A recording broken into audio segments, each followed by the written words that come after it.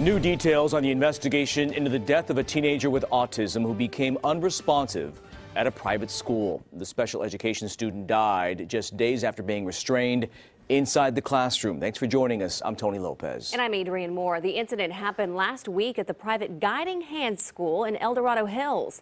CBS 13's Rachel Wolf is live at the State Board of Education with more on this investigation. Rachel? Well, we do know now that this 13 year old boy's name is Max and that he actually lived in Davis, California.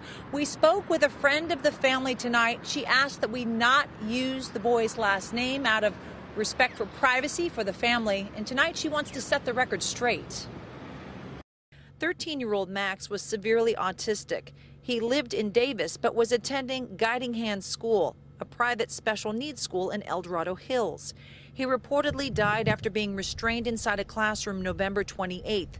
The State Board of Education is investigating what happened, and so is the El Dorado County Sheriff's Department. Initially, reports say the boy was six feet tall and 270 pounds, but a friend of the boy's family says he was five foot four and 170 pounds. The sheriff nor coroner returned our calls for clarification. The school said it used a nationally recognized behavior management protocol to address the situation. A friend of the family who is a clinical psychologist says it could have and should have been handled differently. This procedure should not be legal in any kind of a school setting because there are other things that can be done that are much safer and more advised for a young boy of 13.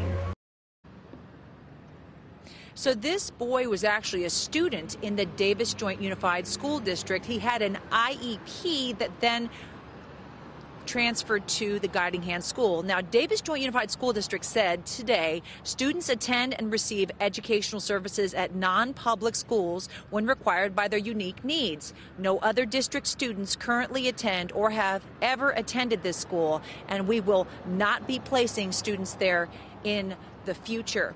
They went on to say they feel very bad about what happened to this student, and they are participating in the investigation that the Department of Education now has involving this institution.